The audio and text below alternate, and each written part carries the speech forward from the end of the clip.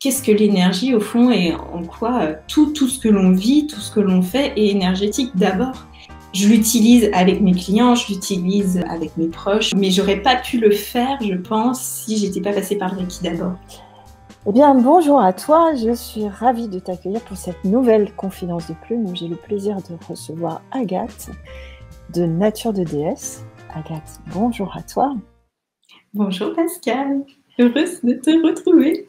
Et bienvenue et merci à toi d'avoir accepté de partager cette euh, confidence.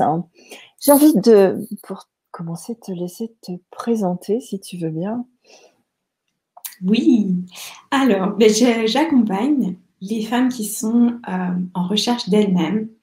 Euh, souvent, elles ont un profil de future accompagnante ou elles sont accompagnantes et elles ont besoin de en fait, de se trouver professionnellement, de s'exprimer, d'oser exprimer leurs talents, leurs dons et leur message particulier, ce qu'elles sont venues faire sur cette terre. Voilà pour, euh, pour ma petite euh, présentation.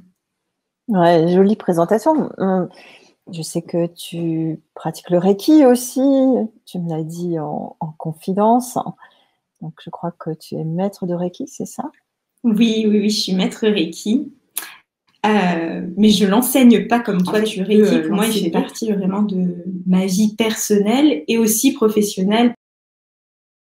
Parce que euh, dans mes accompagnements, euh, j'ai voilà quelques, quelques touches de Reiki qui s'immiscent en fait dans mes coachings, mais je suis pas voilà, je suis pas enseignante Reiki malgré malgré mon parcours. Mhm. Qu'est-ce qui t'a donné envie de, faire euh, ce parcours, qui est le parcours le plus long qu'on puisse faire dans, le Reiki, euh, d'aller jusqu'à jusqu'à la maîtrise? Qu'est-ce qui t'a amené au Reiki? Alors, le Reiki euh, s'est mis dans ma vie par hasard. ah, hasard. le hasard, le fameux. en fait, j'avais, j'étais je travaillais dans la vente de, produits de luxe euh, dans une, boutique. Et euh, j'avais une de mes collègues qui était maître Reiki et euh, un de mes autres collègues dont le père était maître Reiki. Et je vraiment je j'étais très proche de ces deux personnes-là et donc on parlait de, plein de sujets, etc. Puis bah, à un moment, bah, on m'a parlé de Reiki, mais qu'est-ce que c'est que ce truc? Et ça m'intriguait. Mais bon, euh, sans plus. Et puis, euh, un jour, je vais à la fromagerie à côté de chez moi. Et non, mais c'est assez fou. Et je vois un petit prospectus euh, d'une dame qui propose des séances de Reiki. Et là, je lis le truc et comme quoi on peut en envoyer à distance. Et là, mon cerveau a fait un bond, genre quoi, c'est possible d'envoyer de l'énergie à distance? Mais ça marche comment cette histoire-là? Donc, j'en ai parlé à ma collègue, elle me dit, mais bien sûr, euh, écoute, je te passe des livres, tu vois, euh, tu lis, tu vois ce que, si ça t'intéresse, si ça te parle, euh, et, et, tu reviendras vers moi si, si tu as des questions. Et donc, bah, j'ai lu, j'ai fait, ok, c'est ça en fait. J'ai toujours voulu comprendre. En fait, c'est, je, je, crois ce qui m'a vraiment attiré, c'était de comprendre. Mon, mon, mon cerveau rationnel avait besoin de, de, palper en fait ce, ce, truc, quoi, de comprendre ce que ça pouvait être. Et, et donc, je me suis, ben, j'ai cherché un maître Reiki et j'ai été initiée au premier degré. Et puis, ben, quelques mois après, au deuxième. Et euh, par une autre maître, parce que ben, j'avais vraiment besoin en fait d'être en reliance avec une personne qui me corresponde vraiment, ce qui n'était pas tout à fait le cas pour le premier maître. Et quand j'ai trouvé euh, ben, ma maître, euh, ben, je suis allée jusqu'au bout en fait. Pour moi, c'était, euh, je, voulais en fait compléter tout le processus et hum, ça faisait partie de mon engagement avec le Reiki. Mmh. Voilà. Mmh. Effectivement, ce que tu dis, c'est important, c'est la liberté. Pour moi, le Reiki, c'est la liberté de pouvoir aller jusqu'au bout de la démarche ou de s'arrêter au premier ou au deuxième degré. C'est la liberté de pouvoir changer de maître euh, pendant le parcours, c'est la liberté de pratiquer euh, d'une manière ou d'une autre. Et, euh, c'est vraiment important. alors, juste une question, ça marche pour toi le Reiki à distance? Ça marche très bien. et en fait, finalement, c'est ce que je préfère du Reiki. En fait, c'est ce fait, ce fait-là que on n'est pas obligé d'être praticienne de Reiki et, et, être thérapeute pour l'utiliser c'est qu'en fait, le Reiki, pour moi, il fait partie de ma vie. C'est, il fait partie de ma boîte à outils euh, de coach. Il fait partie de ma boîte à outils euh, de, euh, même pour mes, mes, proches. Voilà, s'il y a un petit bobo, hop, je l'utilise avec en mes clients. Je l'utilise avec avec mes proches s'ils ont besoin. Je, je, en fait, ça m'a permis aussi de comprendre comment fonctionnait l'énergie Qu'est-ce que euh, l'énergie, au fond, bah et en quoi euh, tout, tout ce que l'on vit, tout ce que l'on fait est énergétique d'abord Et en fait, ça m'a permis, je pense que le Reiki a donné une structure de compréhension dont j'avais besoin au départ. Maintenant, je, me suis détachée euh, au fur et à mesure des années de la structure du Reiki, où maintenant je l'utilise à ma sauce, voilà, je, je fais comme, comme j'ai envie.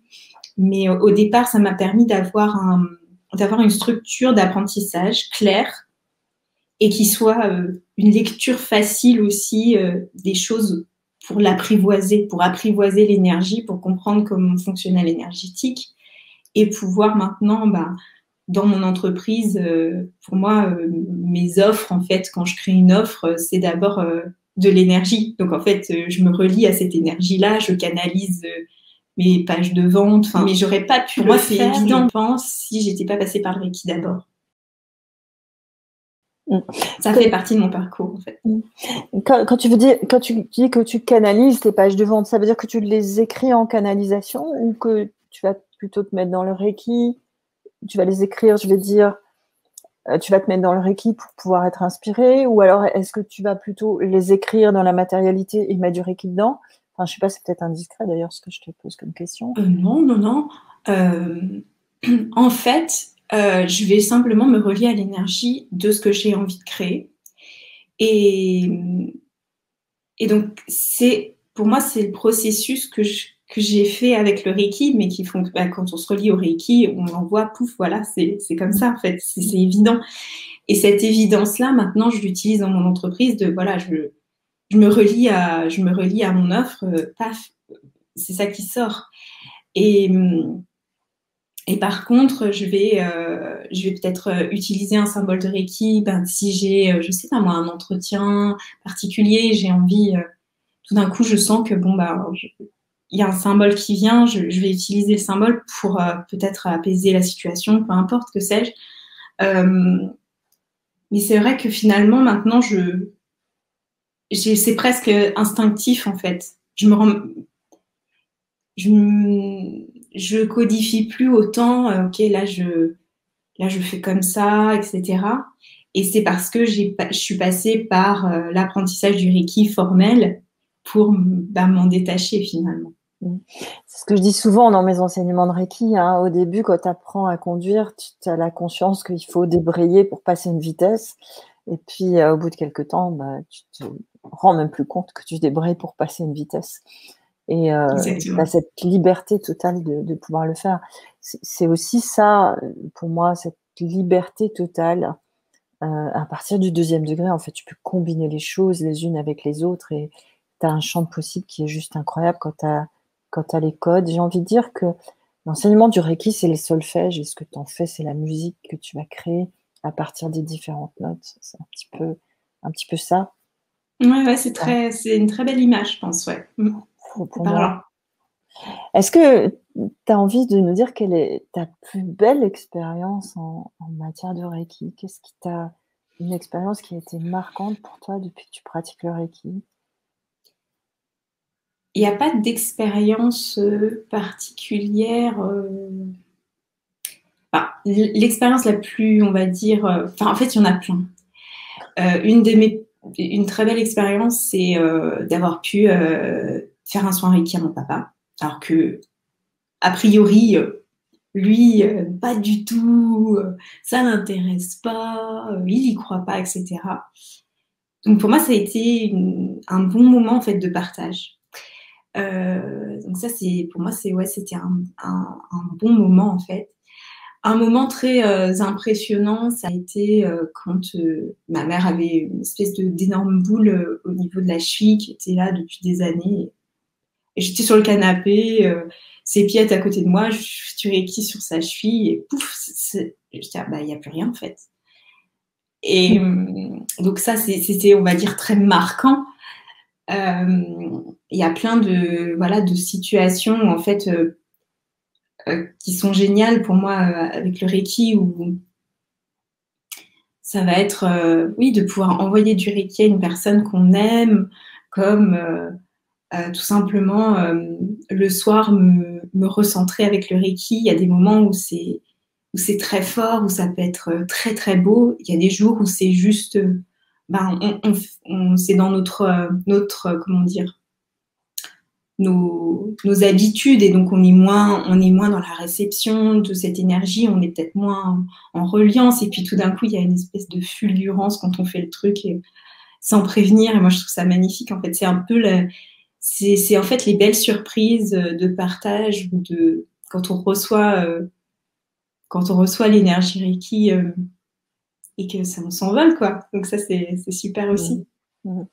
cette énergie d'amour oui qui est incommensurable, j'ai envie de dire, et, et, à disposition. Hmm. Est-ce que euh, pour toi, le Reiki a, des défauts ou des insuffisances? Est-ce que tu t'es trouvé déjà dans, un cas où le Reiki n'était pas suffisant? Euh, Pas suffisant. Je dirais pas pas suffisant parce qu'en fait, euh, c'est simplement que pour moi, en fait, il y a différentes énergies, différentes façons de faire. Et, et parfois, on, a, on peut avoir besoin d'aller voir un thérapeute ou euh, de ne pas, le, pas le faire nous-mêmes, par exemple. Euh, je, peux, je, peux, je pense à des, à des deuils. Voilà, j'ai vécu des deuils successifs assez rapprochés. Et, et le fait de me faire des soins de Reiki m'a énormément aidé, m'a aidé à dépasser une période très difficile. Mais j'arrivais pas à à vraiment complètement me libérer des émotions et de à faire vraiment mon deuil jusqu'au bout. Et là, d'être allé voir une thérapeute en soins énergétiques, ça m'a aidé parce que j'avais besoin de voir quelqu'un d'autre que moi-même. Je pense que c'est mmh. vraiment ça. Mmh. Euh, par contre, je dirais que le, le, défaut du Reiki, c'est que bah, il y a plein d'outils. Et donc, il y a des outils qu'on qu'on peut ne pas aimer ou ne pas utiliser, ou on peut se dire mais il y a tellement de choix que qu'est-ce que je fais, qu'est-ce que je choisis. C'est peut-être le seul, en fait, euh, je dirais le seul défaut, c'est ça, c'est que bah, il y a tellement de choses qu'on apprend avec le Reiki que bah, ça peut parfois euh, être trop. C'est des choses avec lesquelles on se sent plus ou moins en résonance et qu'on met plus ou moins de côté. Moi, je sais que quand j'ai commencé à enseigner le Reiki, j'ai redécouvert des choses que j'avais mises de côté en me disant Ah, mais oui, mais il y avait ça aussi. Et puis, c'était intéressant. Et, je l'utilise peut-être pas assez. Et puis, euh, voilà. Euh, par rapport à ce que tu dis euh, concernant le deuil, je trouve que c'est très intéressant parce que, effectivement, il y a des moments où se faire du Reiki à soi tout seul, c'est bien, mais se sentir accompagné, aidé par quelqu'un d'autre, que ce soit en Reiki ou autrement, c'est bien.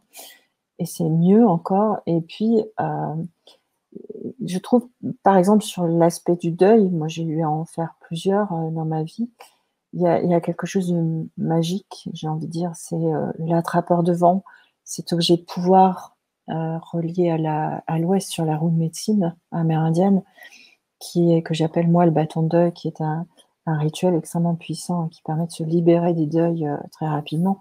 En tout cas, je ne sais pas dire si c'est plus efficace avec ou sans le Reiki, parce que moi, il y a toujours du Reiki avec, on, s'en doute, mais ça permet d'aller, plus vite. Et puis, sur les limites du Reiki, moi, j'ai envie de dire aussi que on ne remplace pas un traitement médical. Bien sûr. On ne remplace pas des choses comme ça. Et ça, c'est vraiment important de le, poser. Je vois tellement de choses sur les, euh, dans le grand supermarché de la spiritualité, comme je dis, le, le Reiki fait tout. Non, le Reiki fait pas tout il faut être euh, raisonnable et, intelligent avec ça. c'est de, jongler comme euh, voilà, avec notre bon sens, avec les outils très pratico-pratiques de la médecine et, et, le soutien incroyable et magnifique que peut nous apporter le Reiki, en fait. On a le droit d'avoir les deux. C'est ce qui est super. Enfin, on est à une époque où on a le droit d'avoir les deux. Et pourquoi s'en priver, quoi Exactement. Et on peut avoir les deux, et, et le Reiki dans la matérialité et dans la spiritualité. Ça, c'est super. Mm. Agathe, est-ce que tu veux ajouter quelque chose? Ben non, ça me paraît très très bien comme ça. je te remercie de, je te remercie de m'avoir invité et de ta confiance. Je t'en prie, c'est avec grand plaisir. C'est un grand, un grand bonheur que de t'avoir eu. Merci beaucoup. Merci à toi qui nous, qui nous regarde et à, à très bientôt, Agathe. Et à très bientôt à toi pour la prochaine confidence de plus. Merci Pascal. Bye.